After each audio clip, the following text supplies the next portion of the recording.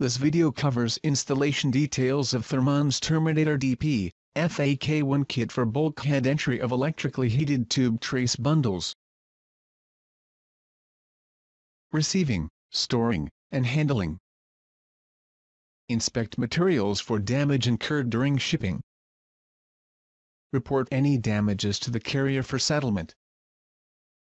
Identify parts against the packing list to ensure the proper type and quantity have been received. And, store in a dry location.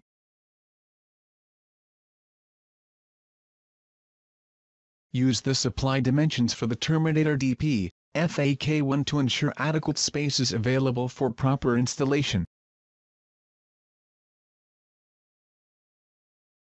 The following kit is required for power and end terminations of electrically heated tube trace bundles. One kit is needed per heater and must be ordered separately. Refer to Form PN 50132. These are the recommended tools for installation of the Terminator DP, FAK1 kit. Individuals installing these products are responsible for complying with all applicable safety and health guidelines. Proper personal protective equipment, or PPE, should be utilized during installation. Contact Thermon if you have any additional questions. Remove the outer jacket and insulation from the end of the tubing bundle. Use caution to not cut heat trace while removing bundle insulation ensure a minimum of 457 mm or 18 inches of heat trace is available for electrical connection. For zone-type heat tracing, the bus connection should be located within 50 to 70 mm or 2 to 3 inches from the end of the bundle insulation. If the bus connection is not visible, proceed stripping the bundle insulation to the next indentation. Separate heat tracing from tubing and bend 90 degrees. Wrap tubes and heat trace with one pass of heat reflective tape with 25% overlap. Then, wrap with three passes of glass fiber tape, with 50% overlap, or until fiber tape is equal to original bundle insulation thickness. Complete with one additional pass of heat reflective tape. Trim the FAK1 cover halves to match the outside diameter of the tubing bundle. Mount the expediter base with O-ring to the FAK1 base using 3 M5 screws and lock washers. Apply RTV sealant to both halves of the FAK1 cover. Place the tubing bundle end in the FAK1 base. Join the FAK1 halves and secure with four panhead screws and nuts. Trim the heat trace to a minimum of 180 mm or 7 inches from the expediter base.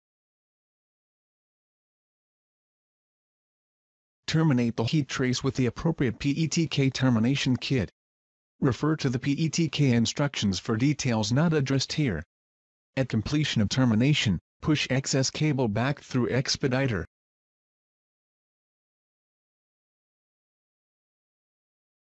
Drill a hole matching the bundle diameter into the bulkhead.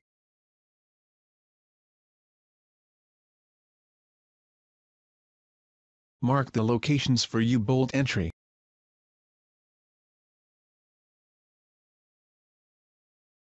Drill 1 quarter inch or 7 mm holes through the bulkhead.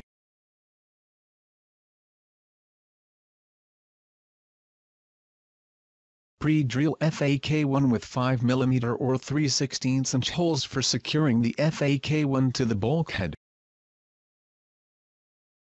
Apply an RTV bead to the back of the FAK1 flange prior to securing to the bulkhead. Secure the FAK1 to the bulkhead using three stainless steel screws and U-bolt as shown.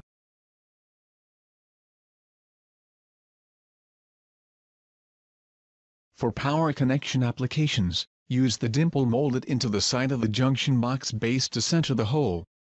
Drill for user-supplied power connection fitting per manufacturer's recommendation.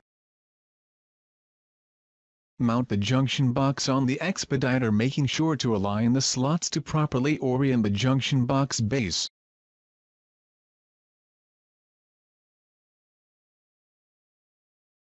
Install the quick mount terminal block, twist to position and tighten. Complete system wiring between fabricated heat tracing and power supply wiring. Install the junction box lid and twist hand tight. Insert a screwdriver into the ratchet slot located on the side of the junction box base to tighten. The lid will rotate 30 degrees. To remove the lid, repeat in opposite direction. Apply an RTV bead around the FAK1 flange.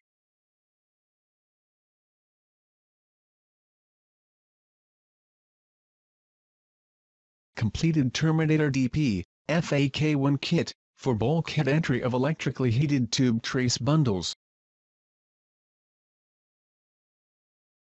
For additional information on this product, visit us on the web at thermon.com.